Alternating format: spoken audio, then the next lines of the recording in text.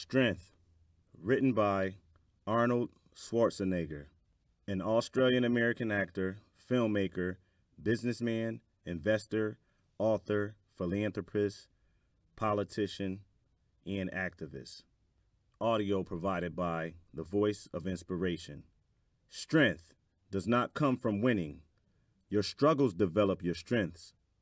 When you go through hardships and decide not to surrender, that is strength. Thank you for listening to the voice of inspiration.